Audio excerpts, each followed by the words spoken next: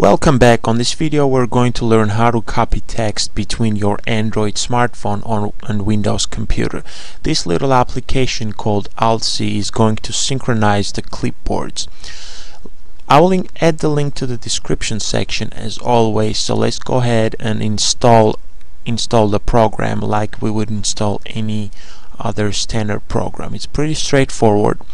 Once the application is done installing you'll see that the interface is pretty simple. You have two tabs. The first one initial setup, setup and the second one network settings in case you are using a proxy. Now once you install that before we configure anything we have to go to our smartphone let's bring up the smartphone and go to Google Play and look for AltCopy and install the application. Let's go ahead and launch the application. And the only thing you'll see is get my code. This is the very first step. Press the button get my code and AltCopy will give you a unique synchronization code. Now on our desktop client we're going to name our smartphone. So let's say this is our smartphone 1 smartphone 1 we're going to type the code 6729 2872 yours will be different of course. As soon as we press register PC you should see a notification on your smartphone that says PC connected to your smartphone. And the user interface on your desktop client will also change. You will now have multiple different tabs the first one is the activity feed. This will show you all the text the text that you copy. So let's go ahead and do an experiment. Let's copy this text. This text is from PC and before we copy let's go to hotkeys and find out what keys we use for copying. So for to copy a text we're going to use alt C. Normally you would use control C but for this program if you do alt C it will copy the text to the application. And to paste it it's alt V. So instead of control V it's alt V. So let's go ahead and copy this text. But instead of control C we're going to do alt C. The text is now copied and it's now visible on your smartphone. This text is from PC and let's go ahead and paste it on Mozilla Firefox on our smartphone to make sure it works.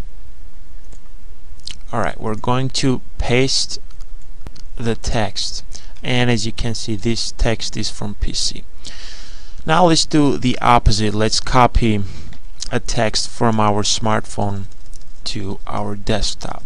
So let's type this text is from smartphone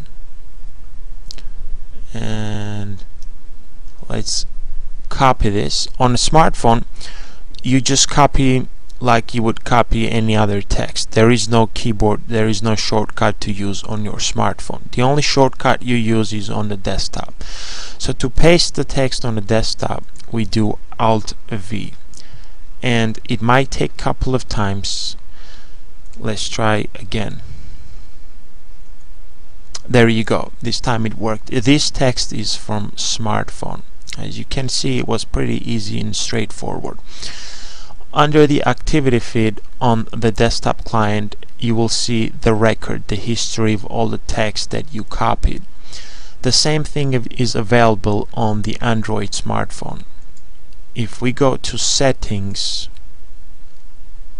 under copy history we can control the number of entries that we want the application to save. One means only the latest text that you copied will be saved.